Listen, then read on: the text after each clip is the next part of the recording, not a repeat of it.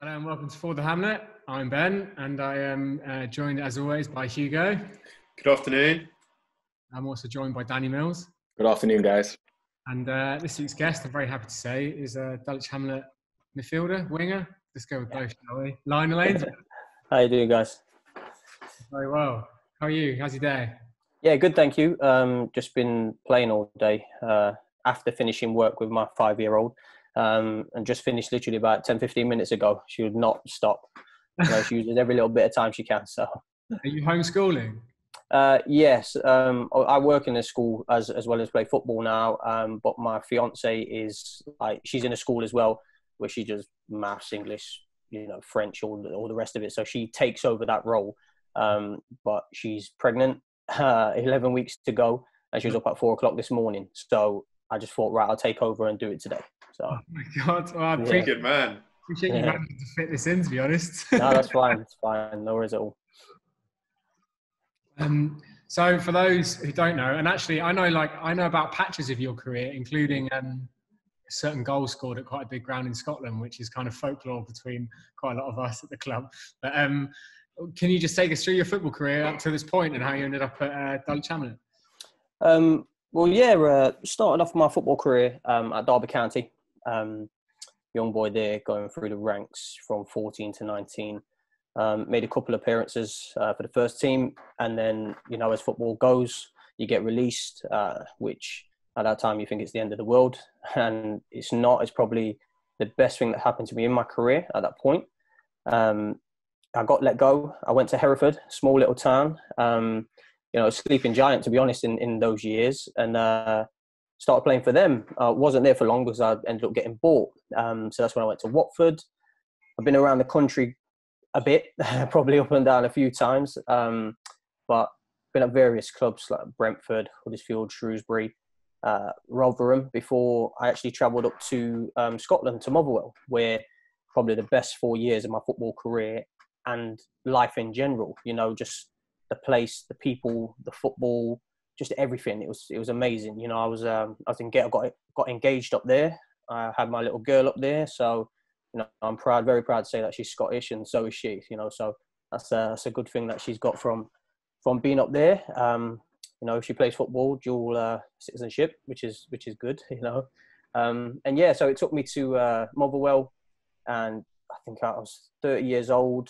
Got offered a contract, but it just it was with lots of cuts and stuff. Um, and when, to be honest, it's a short career, so you got to make as much as you can while you can. Uh, got to move to Plymouth Argyle.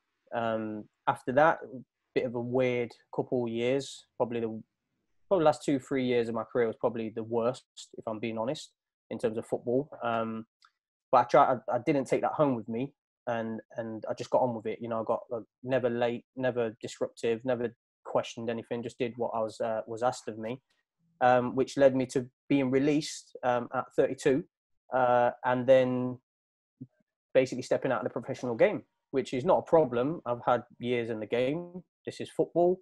There's younger talent coming through. So, you know, I'm as a coach now and working in schools, uh, you know, I like to see the progression of kids, which if I had someone behind me at Dulwich, you know, Lewis White, um, Malik, you know, we had all these boys that I'm rooting for. You know, you might play my position. That's brilliant but you you know that's the next generation that you want to push through you know which eventually after plymouth led me to weymouth you know and then i scored a little tap in against uh, dulwich. Um, i think danny was there that day. And uh, I should yeah, have blocked and- it. yeah. It was it, it was that that game that i actually uh, i see the, the staff on the sideline after and shook hands and stuff and i just you know whispered in i think it was uh, i think it was juniors year i said i'm local you know. And then uh, I heard that obviously the club were trying to get hold of me that same day while I was in the changing room, but they couldn't. Um, and then I made contact. I made contact with Gavin Rose, and Millsy saw me at a game, and he's like, "Are you double agent here or what? Like scouting?" or I was like, "I'll let you know." and then next minute, I'm there on the Thursday training, and you know, and up until COVID nineteen, you know, Dulwich player. So It's quite the journey, man. How is it? How is it um, like going from playing in the SPL to then playing in the Conference South?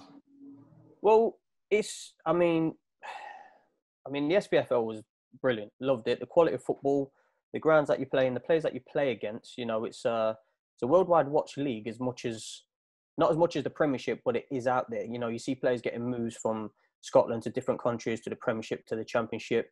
Um, so the quality was good. Um, the people that you worked with were top quality. You know, there's no, there's not, there's not any difference between the, the National South and um, the Premiership in terms of personnel. And yeah, you might have a little bit of quality, uh, bit, a little bit of better quality. Um, but I was surprised how good, and that's just me being honest. I was surprised how good it was in the National League South, like the quality. Because when I played against, come up against Millsy's team, because I met Millsy in the May before last year because we did our B license together. And um, when we played him for Weymouth, I was like, oh, this is going to be a long day because the way it started, the players that they had, the quality, I was like, wow, this is not, it's not just, you know, football. It's actually a good, good standard, you know, and it's something that I was enjoying being involved with. Yeah, I think it, um, I think that's the case for a lot of players who maybe haven't like come the other way up the leagues. So when they drop down, they're all like massively surprised by the level, and particularly now like, we, we spoke about this. Um, can't remember who we spoke about it with recently, but the National League South now, like a quarter of the teams are full time, and then the National League, I think all of them are full time. Yeah. Um, yeah.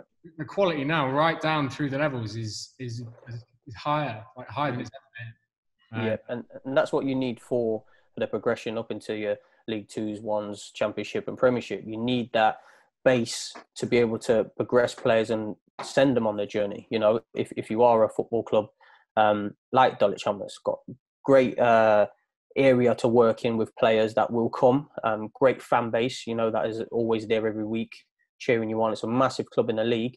Um, probably deserves to be higher than it is, but I think, you know, there's a process with everything that mm. you know in, in that time as, as Millsy will know that and yourselves will know that you have to build that and when you build it, it will it will just happen naturally. Yeah, for sure. Um, yeah, I mean, guys, as as you know, this is uh, this is episode five of Home Disadvantage. It's our new series that um, we've been doing for a few weeks now. Grateful to Lionel for joining the chat. Um, and yeah, for for this week, uh, we decided to ask our audience um, if they had any questions they wanted to ask us on any, any of the topics that we've covered up to this point, or if they've got any questions which they've always wanted the answers to, but they've never felt comfortable to ask, or they've never been in a position to be able to ask. And um, some of them really basic, like, but I think will be really useful for us to answer. And um, so I've got like a few here which we got sent on Instagram and on Twitter. Um, so I'm just going to kick us off, and it's a pretty simple one. Like I've, I've just mentioned it before I came on air, but there's a guy who's messaged us saying, and I, I I've this has crossed my mind before because I own a similar item that I bought. Um, he's basically asked. He's he bought the new um, Sierra Leone kit. Uh, I don't know if you guys have seen it, but it's a really nice piece of kit. So he, he bought it. Um, white guy who lives in Peckham, and then um, he cancelled the order because he didn't know he basically didn't feel comfortable wearing it around the area that he lives in, which is Peckham, which is um, predominantly historically black community. Um, and he, he doesn't feel comfortable. He mentions colonialism, um, racism in the UK. So is what do you guys think? Is he okay to wear that around Peckham and like represent essentially a country that he's not from, and in particular a country which had suffered has suffered as a result of colonialism? Millsy? Um, there's for, for me personally, there's absolutely nothing wrong with him wearing that shirt. Absolutely nothing wrong. At the end of the day, if you like the it, it, within international football, the majority of people, bar the country that you're in, will buy shirts because they look nice. They look at the shirt and they think, "I like that shirt." They're not necessarily doing it because they support the country. Um, I think you look at um, Nigeria's kit in the last uh, World Cup, unbelievable. I wanted to buy that kit. Yeah, me too. Yep. Do you know what I mean? It was unbelievable. Um, you know, there have been some really nice kits. Brazil always has nice kits, and I don't think he should feel any way about wearing that kit. Um, I kind of get, I kind of get where he's coming from a bit, but at the end of the day, it's a piece of clothing, and if you like the way it looks and you're comfortable wearing it, then go for it.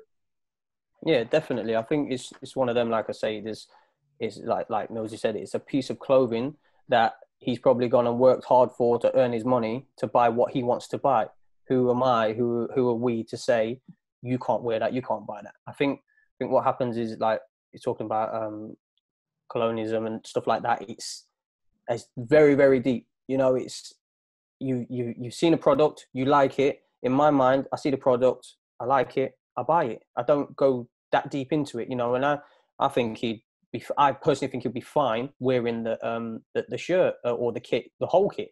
You know, he might be somebody that travels and likes going yeah. to different countries and yeah. seeing different cultures.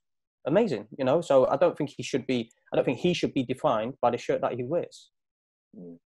Yeah, I'd say it's it's good that he's sort of been self-aware to to bring up some of these issues, but uh, yeah, really at the, at the end of the day, it's it's a shirt, and if if he if he gets called out on that ever from someone in the street, it sounds like he's already sort of starting to think about the issues which he could then, you know, continue that conversation with people at, on his travels in the street in Peckham, wherever it may be. Um, worth saying too that obviously we've got a few connections to Sierra Leone, uh, Dulwich Hamlet, um, with junior Kadi's kind of involvement with the football federation over there over the years. You guys might be better informed on that than me. Um, Amber as well. Yeah. Yeah. Yeah. I mean, yeah. Thanks for your clear answers, guys. I mean, I, I think, yeah, I probably thought the same as well. But it's it's uh, reassuring to hear that everyone's kind of on the same page. I've got a Kenya kit. Um, it's really nice. It's like green. It's got like dark green stars around the collar. Um, so I'll, I'll, wear that with pride next time. Definitely. It's, it's, it's not something you should, you know, it's not something you should, it's a piece of clothing. Yes, it has got a symbol on it and it, it is of another country, but, you know, I've had shirts. I used to play for Derby County and wear a Forest shirt. You know, a lot of people would have given me abuse for that, and I got abuse for that. You know, and I'm from Nottingham, but played for Derby because of what I was wearing you know, it's just, it's my choice. If I want to wear that, I will wear that. Mm, you know, mm-hmm. so and if there is any any repercussions to that, well, in that situation, let's educate each other. Let's not mm. you just give me the tyrant of all mm. the abuse and not listen to my side. You know, so sometimes it's it's education there and then on the spot. Yeah, sure. Um, I've got a, a, second one which I, I really want to um, ask, and then I'll pass over to Hugo because he's got a couple which um, I've sent in. But um, this is actually, I'll admit, this is from me. Um, and I've wondered this for a few years, like particularly in the areas that we that hang out in, in London and work and live. And it, to what extent do you, do you guys reckon it's okay for white people to adopt language that is has origins in the black community? And I'm talking like, I don't know, saying like wagwan or like on fleek or side ting or all of that kind of stuff. Like that you hear white people adopt and start using in their own conversations. Have you guys got any thoughts on that? Is that okay? Is it not? Um, my thoughts are my thoughts are stuff like if you were to say Wagwan, it's like I'm thinking, oh, you might have connections to Jamaican, uh, to Jamaica. You you might have family members that are Jamaican that would naturally speak like Wagwan, read what you said, you know that type of talk. I personally, I wouldn't I personally wouldn't feel any type of way. I can I potentially see why people may see it a different way and may react differently to it. But I mean, it's you know, it's not my language to say that you can't speak it. You know, it's just like me going speaking Spanish or French. What do I go there and I try and do it, and then they react to me? Oh no, I've, you know, I'm learning a language. Do you know what I mean? So I'm not saying that's uh, most most words and things are made up from the streets. Do you know what I mean? So like who who actually owns it. Do you know what I mean? So I would I, I wouldn't have any I wouldn't have any problems like that if you were to if, if I could see that you was being cocky with it or trying to you know banter with a little bit of a dig, then I'd be like, excuse me, you know, would would have to have a conversation. That's how a person would would deal with it. That's interesting because we we had um, and it makes total sense as well. We had someone on uh, Twitter replied to us on that and said that if you go to any secondary school now in South London, you'll get kids of all races using exactly the same language and you know including all of that language as well. So it's clearly like prevalent at school now. Like every everyone is using the same language basically. Yeah, I've I've, I've been in um, secondary schools um, covering PE lessons of year tens and year elevens, and you know you've had Turkish boys like yo bro, you know all all the, the the language and all that, and they're not saying it in a bad way. That's just you know brought up in Hackney around the people that they're brought up with. It's just one of them things. It just happens, and like you say, when it's prevalent in the whole school, it's not just a section, or you know, it's it's one of them things that you tend to, you know, look at and sort of follow. You know, so it just becomes natural. Yeah. You guys, have you guys got any thoughts on it? Like, like. Um, I um, I'm similar with Lionel um, in the sense where, and the guy that you mentioned on Twitter, where being from London, this is this is the language of like like I said, the streets and kids in the schools. They they speak they speak like that. The only the only the only way that I will have a problem with this, right, or have an issue, is when you feel that people are speaking to you like that because you're black. If that makes mm, sense. Mm, yeah, yeah. And I've had that a lot. Not a lot, but I've had it, should I say, where someone will speak a certain way. All of a sudden, they they're speaking with you, and their language changes.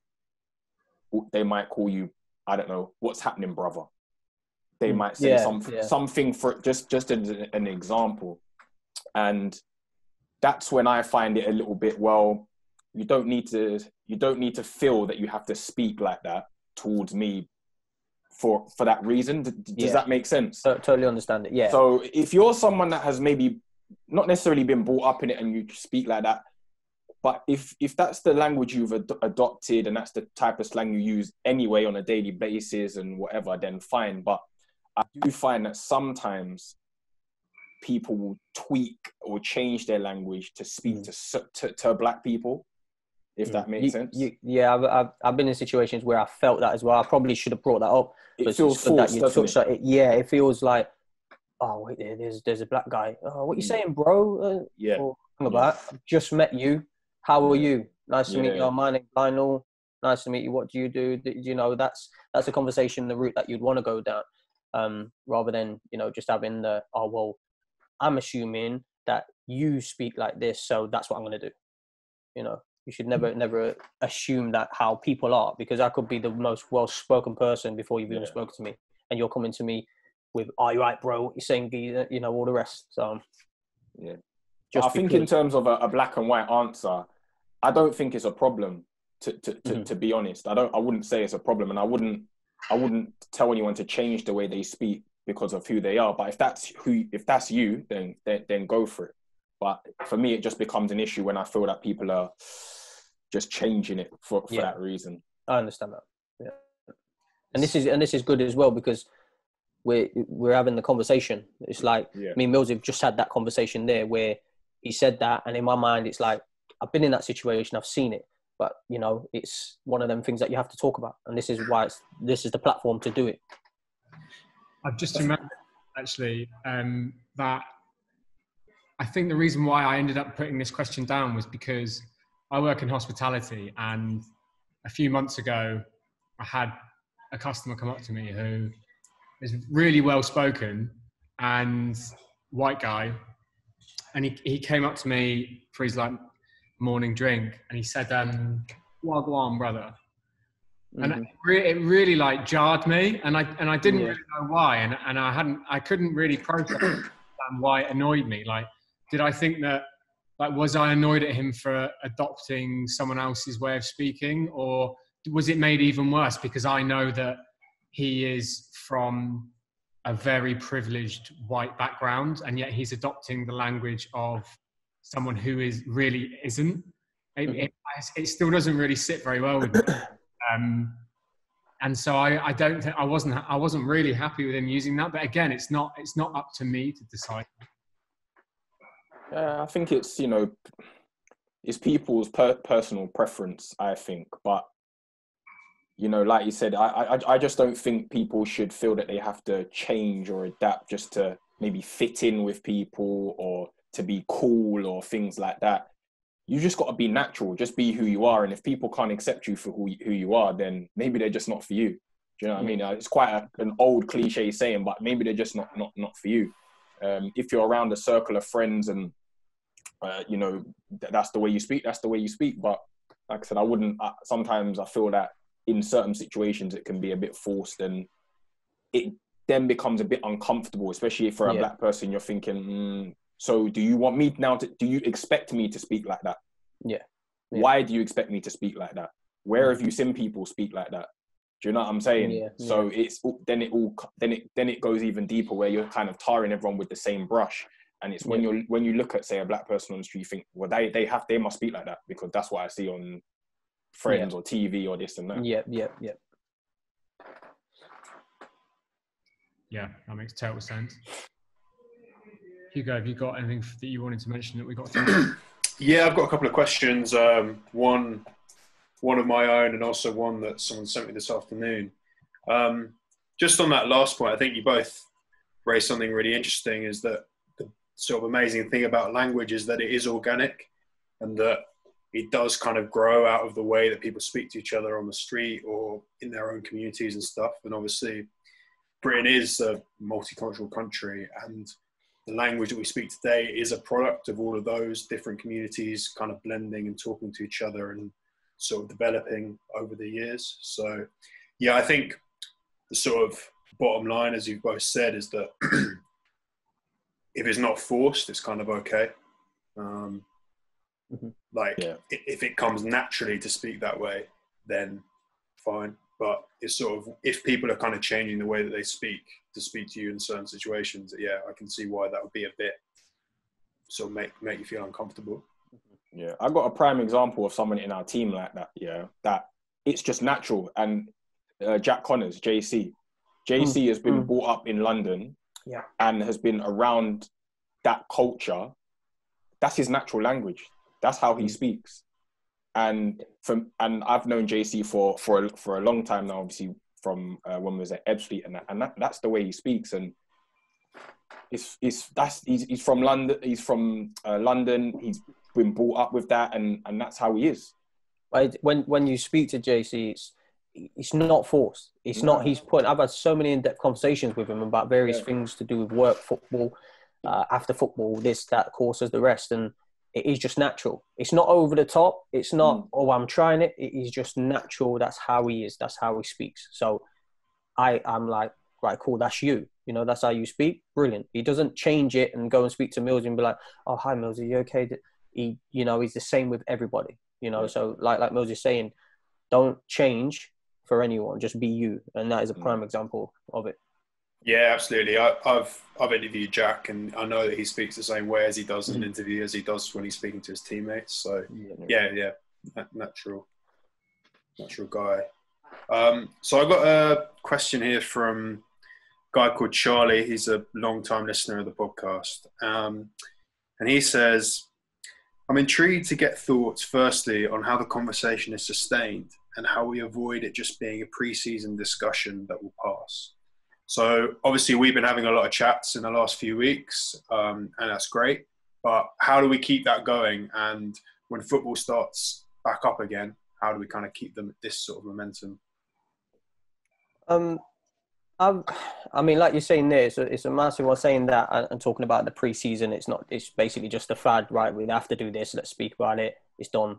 You know, I've been in. I've been in uh, teams where we've been sitting there, and the person that's speaking is a black man, and we've got black players and we've got white players. Uh, we've got foreign players, and it's like, I think it's the conversation when you're having when the conversation comes up because that person, that speaker, is being so real about his experiences and things that he's seen and, and what he's supposed to talk about. I think people they do just see it as a preseason. We have to do this because it's it's it has to be done. We're sitting there for an hour and then we go and it's whatever. You know, I've sat there and I felt as this person's speaking, I felt uncomfortable myself, but I know other people have felt uncomfortable. And it's always the point of something bad has to happen for something to happen. You know what I mean? And a lot of people don't like talking about races and cultures and everything else because they feel they might come across as racist. Like, why? Because we're talking about something. Like, I'm one of these, I will sit down with anybody and have a conversation about race. It's not a problem because we're conversating, we're educating each other. I don't know all the, the answers and I'm still learning myself, but I can give you some and you can give me some. You know, so it's a conversation that needs to be, you know, took on much longer, a lot more education, especially when it comes to going into clubs and stuff, because we as role models, every single person in that club that at playing at football or any sport are role models, whether they're black, white, you know, Bengali, Pakistani, they are role models. You know, so I think a lot of people need to probably not worry about the conversation that they could potentially have with someone. I think they should just be open and speak and about the situation, you know, about the, the different races, cultures, and everything else that goes along with it. Yeah, um, I, I agree with I agree with Lionel, and, and and I also think that for us as sort of of black people, um, this is a part of our lives.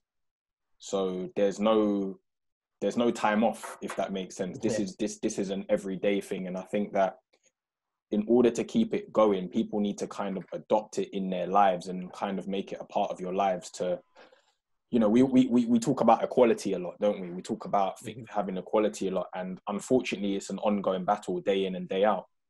Um, and I think that through through this platform, I'd like to think that we're going to give people a lot of education tools, which they can then go out and help help educate themselves. You know, we can't you know you can't necessarily do everything for people you have to then trust people to go out into the real world and adopt what we're doing what we're what we're saying or, or mm-hmm. at least heeding some of the advice you know we could do seven eight nine ten shows not you know not not every single person that listens is gonna is gonna take mm-hmm. the, the, same thing. Um, but what I what, what I do think is it's up to those individuals now to say right I've listened to the information on a platform which I'm familiar with. Now what now what now what can I do? I've you know I've been told about education. Right how am I going to educate myself? Mm-hmm. what shows can I watch? What books can I read? Yeah. now I'm going to take it out into the world and say right this is how I'm going to keep this going and, and, and affect change.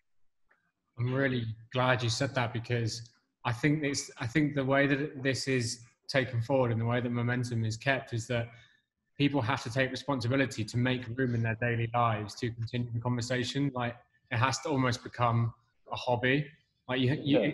you actually want to contribute to this and actually keep it going rather than it just being a fad, like you guys have, have said. Yeah. You need to make space in your life to watch something like every evening or to make sure you read a book a week or like and just keep engaged with it because there's no point relying on someone else to take it forward and then you think yeah. you can kind of contribute or you can like dip in. Yeah. It has yeah. to be like people have to take responsibility.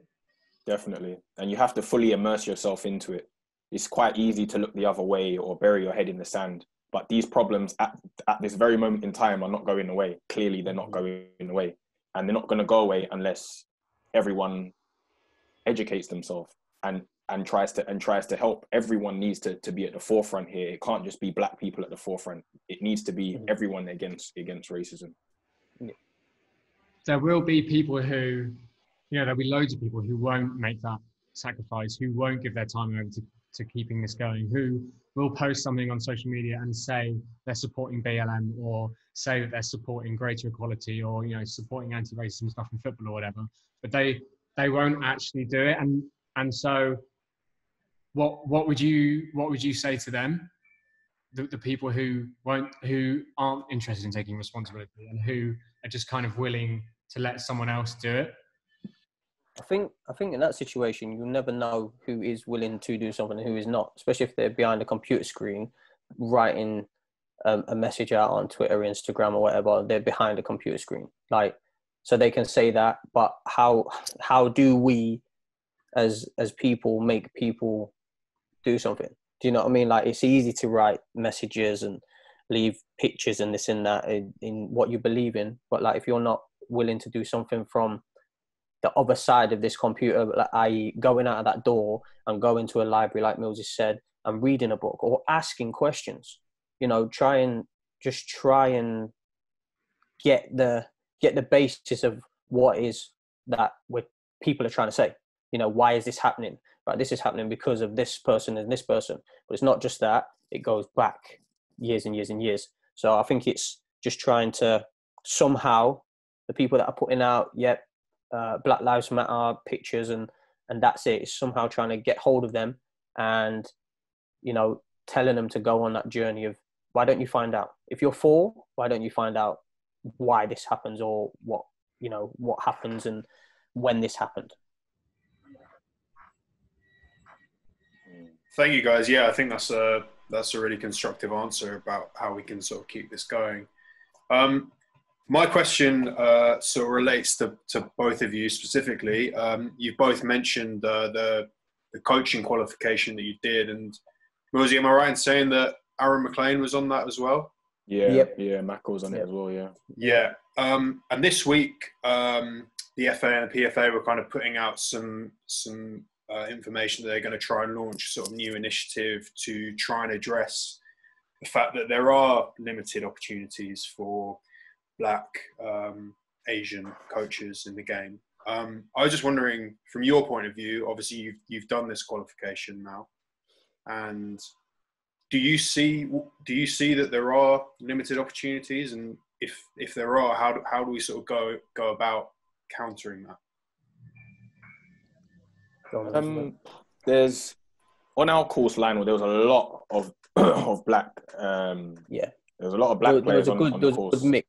There was a yeah, good it was a mix. good. it There was a good mix. Yeah. yeah, it wasn't more of one race than the other. It was like a good mix, you know, which was really good. Um, so yeah, sorry, mate. No, yeah, it was a good mix. It was a good balance, to be fair, um, which was which was really good. And you kind of come away from it and you think, well, I came away from it and I think if this is just one course at one point of the year, they maybe do two or three a year, um, and that's just the PFA one. There's obviously the FA ones that they run as well. So coaches are going on these courses.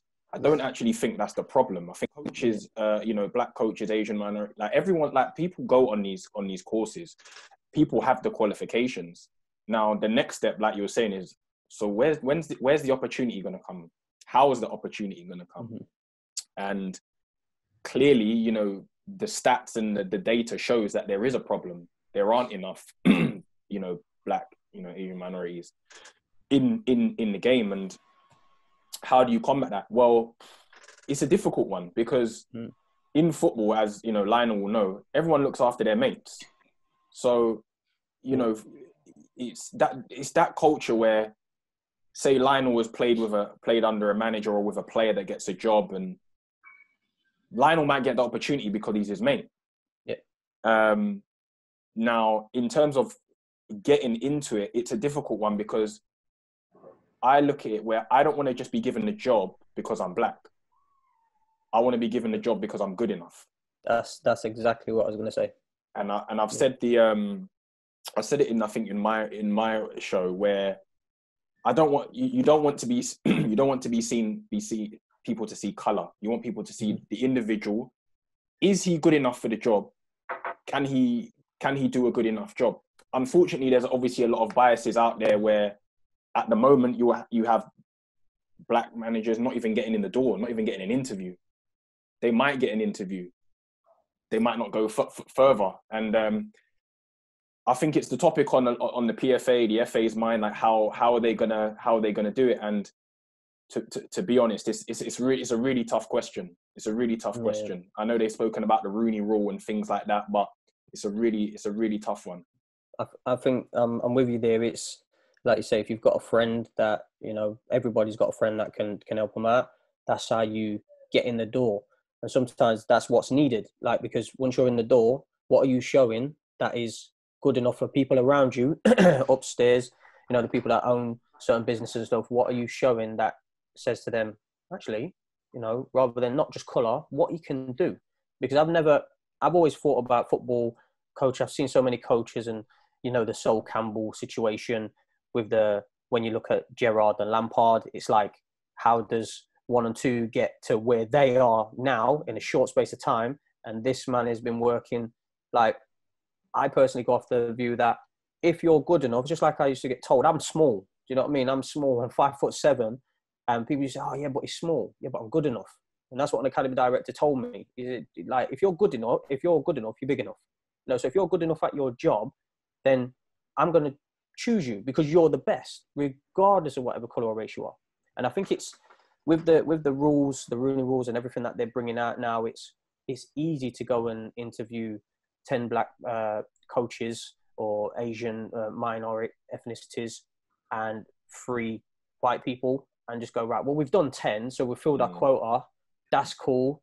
We're going with X over here. Do you know what I mean? So how, it's, it's one of the- like I say, it's a tough question, Mm. How do we get around this? Because it's just honest chats. It might be people upstairs go, I just don't want you working for me. Or it might just be what you've come to me with, it's not what we're looking for. Or do you know what I mean? Rather than Mm. the color of your skin, Mm. you know, so, or, or your religious beliefs. You know, I think you should, I think they should base it off can you do the job? Yes, you can. Go and get me to the Premiership. That's what I want, regardless of what you look like. I'm glad we um, I'm glad we we uh, talking about the Rooney Rule because I'm at the moment I'm reading um well I'm no longer talking to white people about race by um, Reni Eddo-Lodge, which is it's it's really uh, interesting. It's an incredibly insightful book on the history of race in the UK, and she talks about the Rooney Rule um, quite extensively and how it has actually had a massive impact in the states in NFL because they um, because um, I, I'm not like au fait with NFL. I might get some of the terminology wrong, but I, what I read is that whereas previously they wouldn't have interviewed any black candidates, they were mm-hmm. making sure that they int- ten out, out of ten candidates, five were black. And Millsy, you were saying that you know I don't want to be hired or chosen because I'm black to fill a quota. I want to be chosen because I'm enough. So they would interview these five black candidates who they wouldn't have even like included or mm-hmm. Yeah. and actually, they realized that these guys were brilliant at what they do and had the skills needed to nail the job.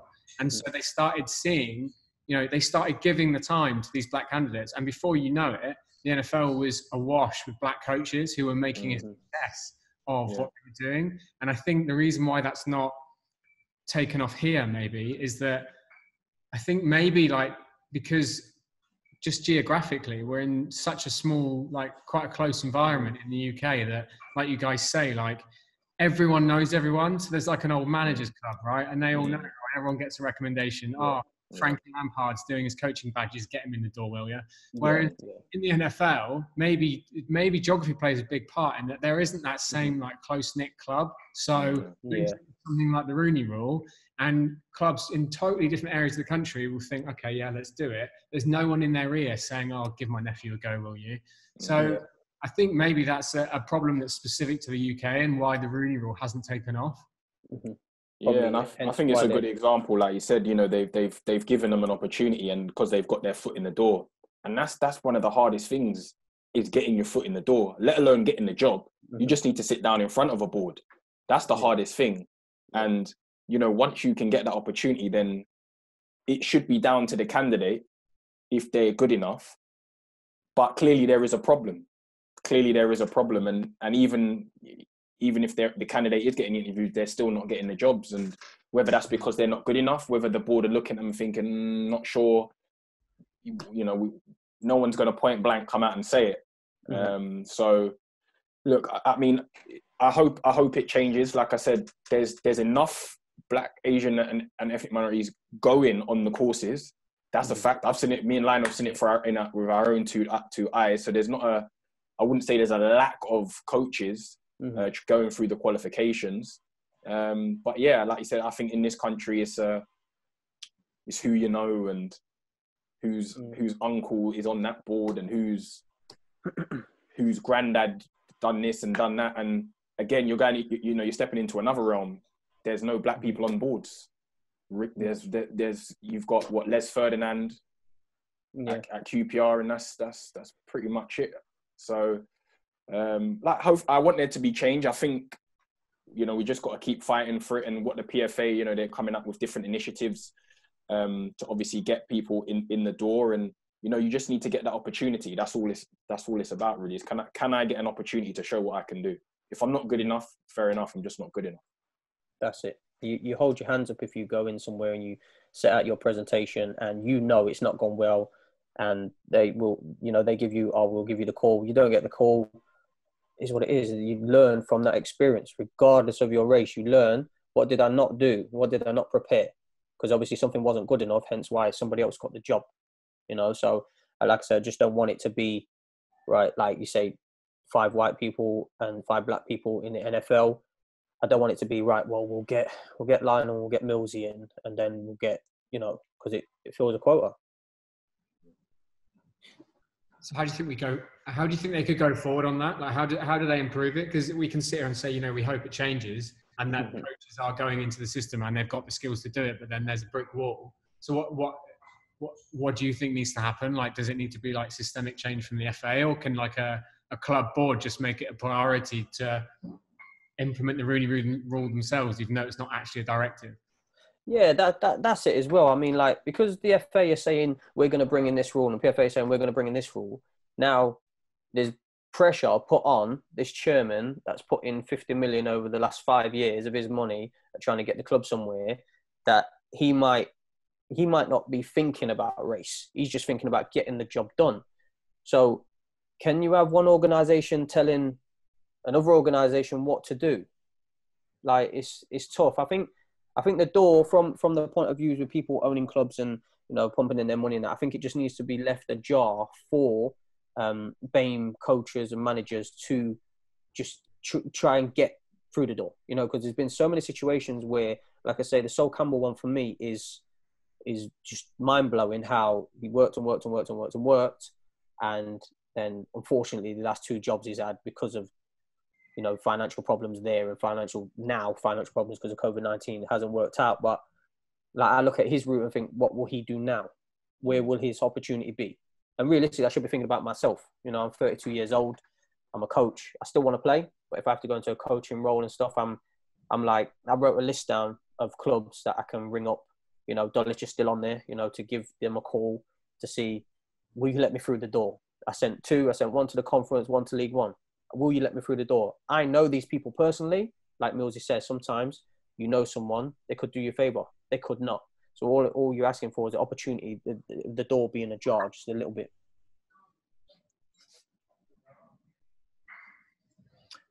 It's, um, I guess that's all. That's what you can really hope for. I think the I think the interesting one would be Ashley Cole because I, I get the feeling like he's doing some really good things with the Chelsea like, under 16s or something. So maybe that's going to be the next one that you keep an eye on and you wonder whether or not he's going to get a chance because if he's going to nail it with the under 16s and then all of a sudden the door's blocked, like is he going to have to do what Sol Campbell did and like drop down to League Two or something? Whereas you know Steven Gerrard can do I don't know 18 months in the Liverpool academy and then walk at Ibrox. and, and and that's the problem. I mean, I don't, I don't think it's. I mean, if if Ashley Cole was to go from under 16s to a first team, I'd be questioning that. I'd be going, what's happening here then?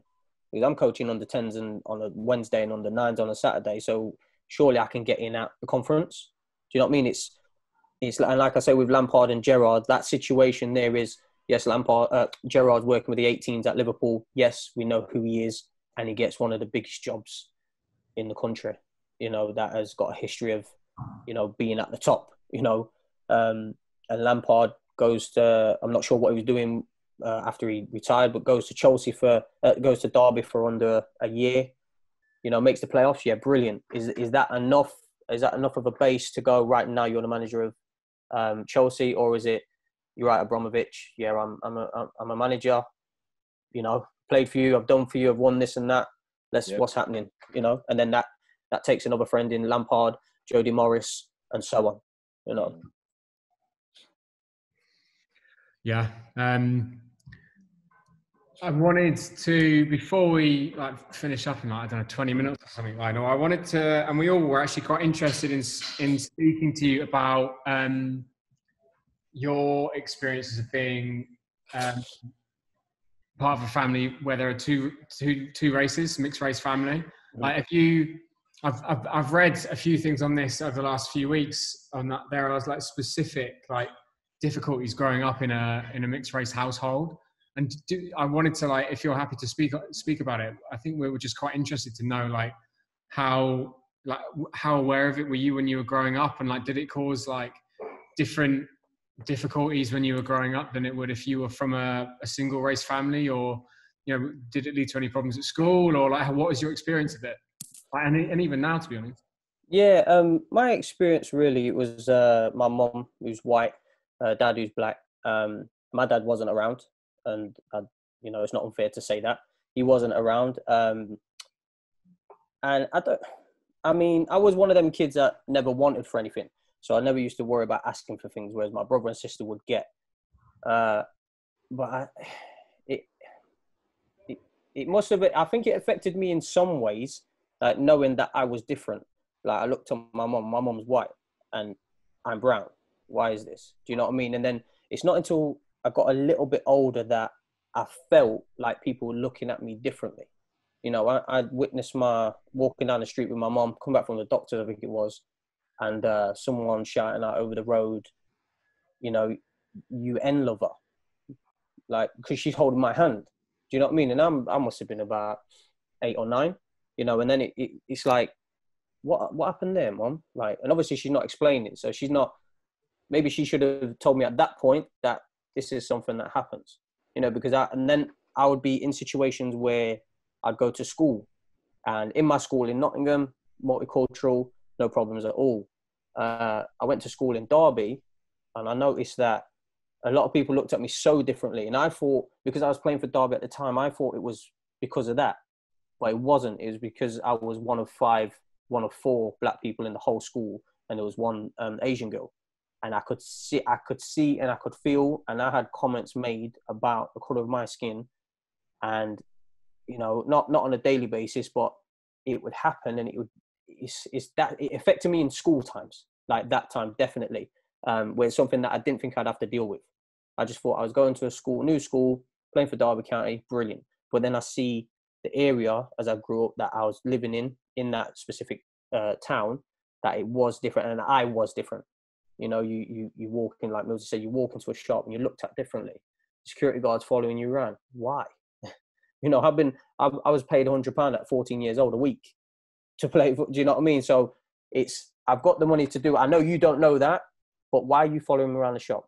why are you looking at me in this type of way like i don't i don't like that you know um i remember when i signed for watford and it was my biggest biggest like payday um and i went into a shop. I never used to carry a bank card because i was like no just in case it gets declined or whatever. And i've gone into a shop and i walked in the shop and i've seen the way the man has looked at me. Like i'm i'm wearing all black. I walked in it's like you can buy ralph lauren's and stuff like that. And the way the man looked at me affected me within five or ten seconds that I knew he was looking at me. And for some reason I felt him thinking, what am I doing in the shop? Why are you in the shop? You know, and I'm like, I shouldn't be feeling this. But my reaction to it was, right, I'll buy 10 of these. I'll have that, that, that, that, that, just to show you that you can't affect me. You know, in, in, in hindsight, like, it's probably, you know, I won't do it now, let's put it that way. Um, but I just did it, and I but I just felt the way that I was received from walking in the shop within ten seconds, you know. And I, I do believe I felt it was about the color of my skin, you know. Um, there's there's so many there's a situation where I've been pulled over by the police for no reason. I've been out of my car, walking in my house. The police have pulled up saying we're pulling you over. Why? Because I've got a nice car. Like I've worked for my nice car.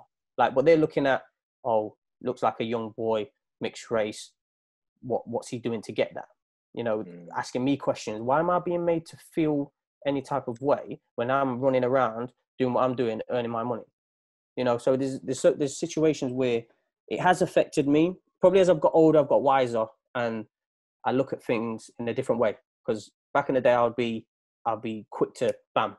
I'll, you say something bam we're going it's off you know what i mean? Whether i'm giving you abuse back or we're scrapping do you know what i mean? That's how i would be. Um, but now, as I've got older and wiser, I've got my little girl that I've got to educate along the way um, and make her know about every type of race, people, everything. You know, so that effect from what I've the effects I've had in my life, I will now give my daughter the best education I can going forward regarding races and cultures and you know um, little people, disabled people, mental health, physical, you know everything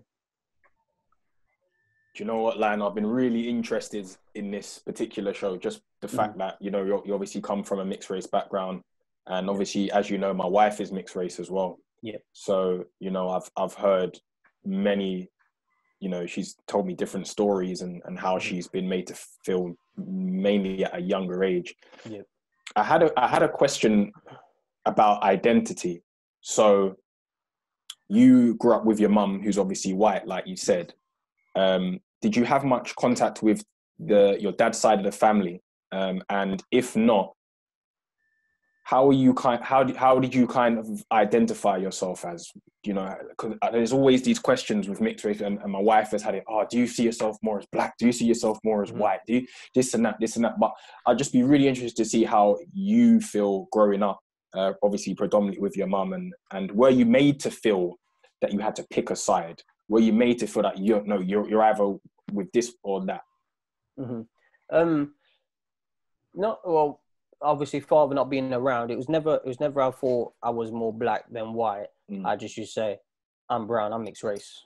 Mm. That's, a, that's the color I am. I'm brown. that's what it is. Um, maybe not. Never, never on my mom's side would I ever like. She would she be like, all oh, right, well, you're you're here. Your dad isn't here. He doesn't care. The family doesn't care. Da, da, da. It was like sometimes on the black side of my family, it would be like I sort of felt that that way. Like you are like I've got my mom's last name. I haven't got my dad's last name.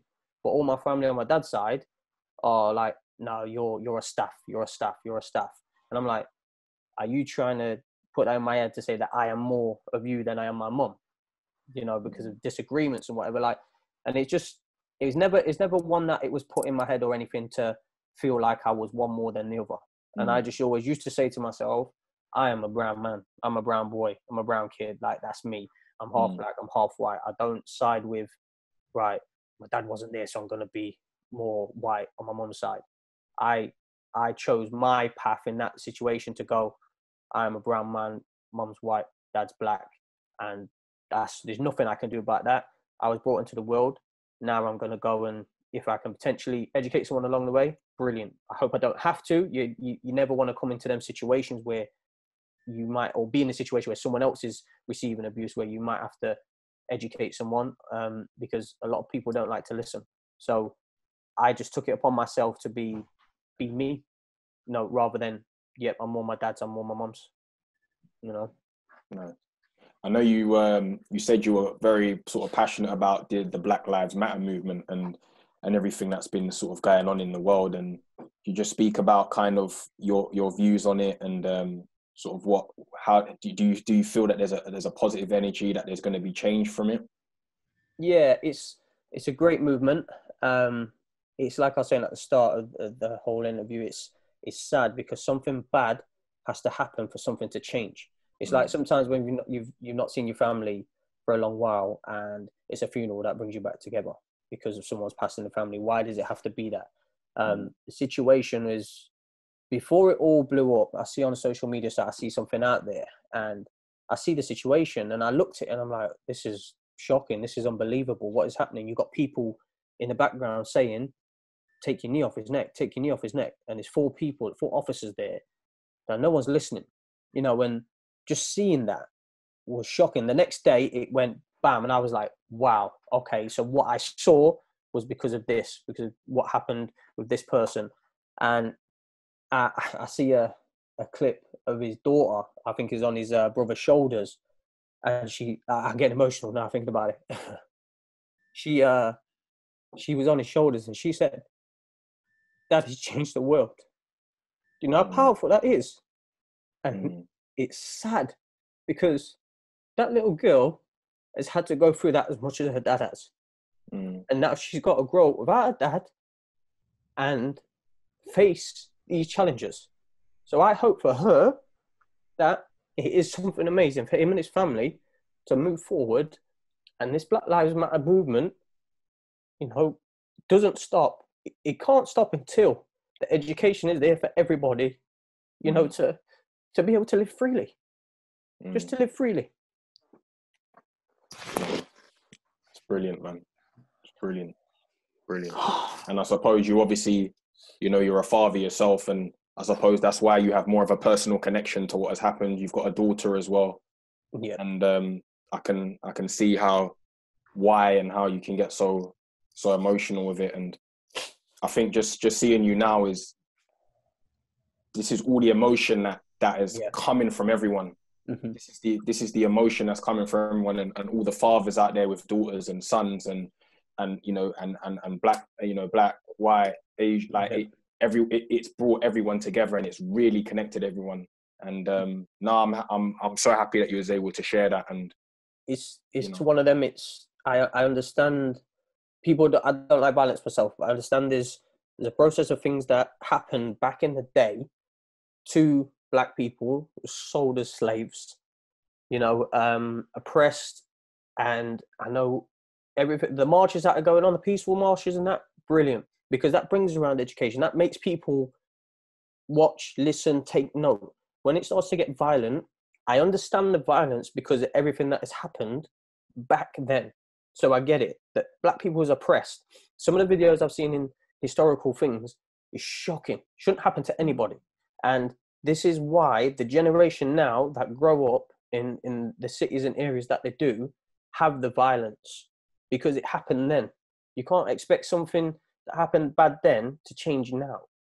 You know, someone's lost their life and what we should just go, okay, that, that officer gets put in prison and that's it. People are gonna they have that narrative of right, well that's what happened then, so this is what we're gonna do now. Like I said, I don't condone violence at all, but the the, the peaceful marches and stuff like that that I've seen and I would have loved to have been a part a, a part of if I wasn't in a household that was vulnerable through COVID nineteen. Um, I just think peaceful protest and getting your point of view uh, point of view across and trying to understand it and even myself trying to understand more things i just hope it goes such a, a, long way I think just on that, um, on the violence thing as well, it's it's been proven throughout history that if if someone isn't heard and they keep repeating themselves again and again and again, and every time they're not heard, they will resort to violence. Like Yeah. whether it's one person, whether it's a million people, if they don't feel like they're heard, eventually it gets to a point where the only way of getting yourself heard is to resort to violence to make a point. And Yeah. when I was seeing on Twitter, like people saying, this isn't going to help the movement, this isn't doing any good, and you know, people were getting cut down for it, like when they were rioting in the States. I was like, like what, what do you expect them to, to do at this point? Um, and yeah, the, the peaceful protests, I've been to quite a few in London, like some local ones around here, like Burgess Park and, and Peckham Rye, and some up in Central as well. And the key thing about them is, you know, people say as well that they don't they don't really have an impact, but they do because they raise awareness. Like, so, like someone sat at home will see that being covered on BBC News. Like, no matter how it's being reported Yeah. by, by the press, they will still see that footage and, and probably engage with the subject and actually realise that something's happening. I think more than mm. anything, just those peaceful protests are more useful just for raising awareness. And also, what's been really interesting at those protests as well is how much of a cross race like mix Yeah. there's been. Like maybe not so much cross class, which is probably an issue in itself. You know, it's been people um, from majority the, s- the same class really, but in terms of cross race, you're like it's been amazing to see the different faces in yeah the protest. Whereas before, you probably wouldn't have seen such a mix. Yes, Mm. yeah, definitely. Especially like when the riots were happening, it was more. It potentially, from what I remember, probably was more black people. But like you Mm. say, now it's you know my mom and my sister went to a march in Nottingham, and my mom's white, my sister's mixed race. You know what I mean? So even that there is like brilliant. Like my mom didn't have Mm. to go along, but she understands it, she gets it, and she did. You know, which was nice to see. And it's like she said that it was peaceful, um, multicultural people out there all going for the same, uh, you know, rooting for the same cause. Lionel, thank you so much for for sharing that. It's No really worries. really powerful. Um, and I think you you sort of raised a really good point that you know it takes these like events in history to spark change, and Mhm. obviously like we wish that George Floyd didn't have to die in the manner that he did, and his daughter take on that burden in the Mhm. manner that it happened for this this to carry on. I think there's been a bit of a debate in sort of British politics and in, in the press this week about whether this is a moment or whether this is a movement.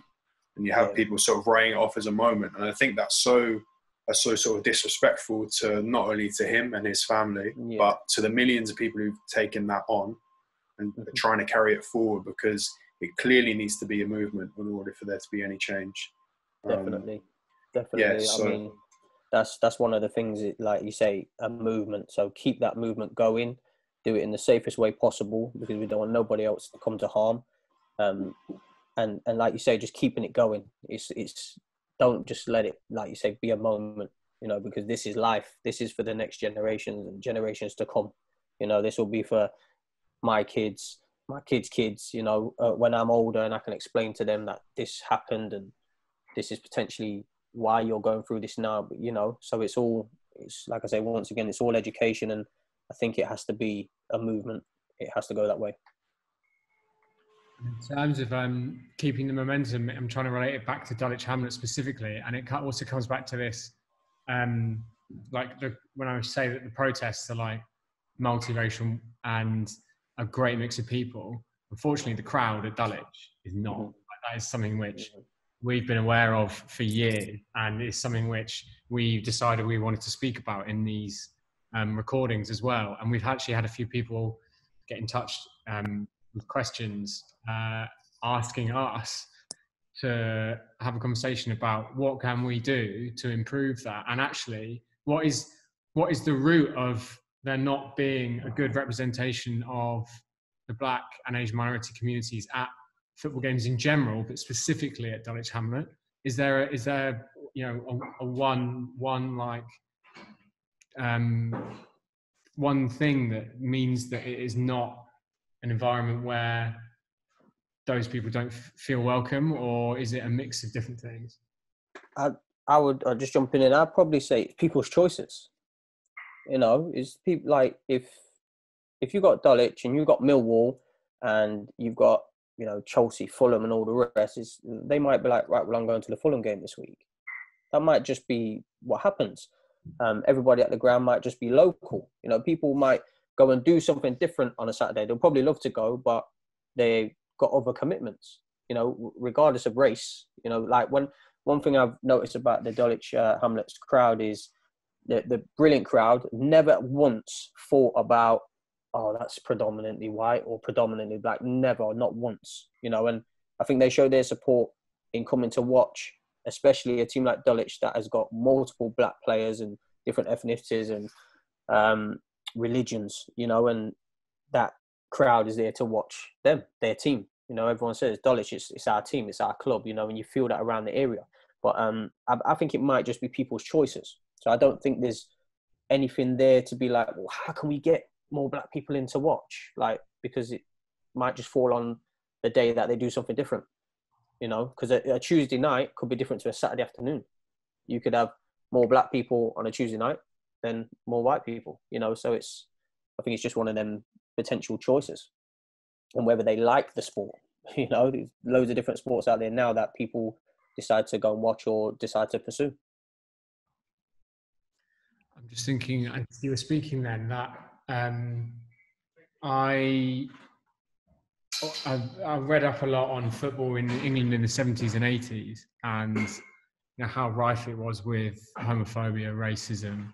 Um, and I can't help but feel that the football environment as it was then would have been the environment that um, like people my age or like slightly younger or slightly older, their parents would have experienced football in you know in that period, and it would have been that kind of environment, like not welcoming, mm-hmm. um, you know, incredibly um, homophobic, incredibly racist, and so maybe has that been passed down to people our age? In ter- and I mean in terms of the black community, ethnic minority community, community like, is that could that have an effect of why there isn't a good representation? It might not be. I'm just wondering, wondering now as we're talking. Hmm. Um, I, I, think, I, think, I think, but I think, I think I'm going to like respectfully not disagree, but I, th- I think there must be something because just because of the lack, like there's just because of the lack of black people at games. I think uh, what I think there could be an element to what you're saying, Ben, in terms of that might might be passed down. But I think the generation now, especially in South London, I think a lot of the, you know, especially the like maybe people like our age, I think if they wanted to go to a game, they, would maybe go, they would go to a game. But I think it's about accountability and responsibility. So, like I said before, we've identified that there's not many black fans. So, what are we going to do about it? What I think you've got to look at it from the outside in and think, right, if I was a, say, I was a, I was a black man or woman or Asian man or woman, why would I come to Dulwich Hamlet? What is what is at Dulwich Hamlet that makes me feel comfortable and inclusive and things like that? Because all they're gonna see, potentially, all people are gonna see is that the whole crowd's white. Let's just say that potentially. but what are what are what are you know what are we as a club doing? If we're saying that we want to have have more diversity within within the crowd, what are, what are we doing? Um, are we putting on community days at the club? Are we mm. putting on um, you know are we are we doing like uh, something to do with the windrush at the club you know just just anything it's these initiatives and and schemes that can be hosted at the football club to to attract people. And one you know one two three families might come they tell friends they tell friends they tell friends and then it grows. I think once they walk in the door obviously the club's brilliant like lionel said the fans mm. are are great but how do we get those people into the door to feel are we putting maybe leaflets through the door to invite people to games? Are you know what what what what, what are we doing it's, it's stuff in the community that you have to do. You've you can go in your local community you've got local schools you've got local colleges people in the community that want to do and try want to try and go to different things and do different things. So like I was saying there um an open day of you know come along have some fun and see what we're about as a club as a whole rather than just you know it's oh only white people go there you know or only mm. black people go there or only asian people go there. You know just it might need to be a little bit more from the club's point of view um, with regards to players not just because obviously players have to do things as well because it's their this is their job to go into the community and raise that awareness that we are actually here and we are welcoming mm. what if um, yeah, I get your points. What like the club historically has done a lot in the community, like loads. Like, that's one of the reasons why the crowd has grown massively. Like it's been yeah. real now at this point in 2020. The club is right at the centre of its community. Like it's an incredible example of what a football club can be in England in 2020 like, at any level. Mm-hmm. So there have been these drives before, but what if I was to say that we, we've tr- we've tried to do that, or the club has tried to do that, but attendance from the black community has been so low that it hasn't had any impact like is that then because that is that just a representation of the local community like where we are in east dulwich is predominantly white so is is, is that mm. the driving factor and so actually trying to like and and that leads me on to another question can you actually be specific and say this this community drive is for the black community mm. can you actually can you actually like implement positive discrimination in a way and say like look we want to increase attendance. Like this is for you. I think you have to maybe broaden your horizons a bit, and like you said, a lot of the community stuff has been done in and around Dulwich Hamlet. There's a lot of there's a lot of surrounding areas of Dulwich which are not far. You've got you've got like Brixton, you've got uh, Peckham, um, you know, you've got all these places which are which are really close to Dulwich, and I think it's just about widening the scope and saying, well, people are only ten minutes away, five minutes away we're inviting you to come to the club. Um, so I think it's just about, yeah, just broadening it really, broadening the radius, seeing Dulwich as bigger than Dulwich, if that makes sense. Um, because, like you said, Dulwich is a is a is a predominantly um, a white area, and the fan base does reflect the area of Dulwich. But what what can we do in the slightly wider community and uh, um, neighbouring communities to to to help um, bring that attendance up of sort of the black and ethnic minorities. And this is what I'm saying about education. Even myself, there, I'm from Nottingham. I live in East London now.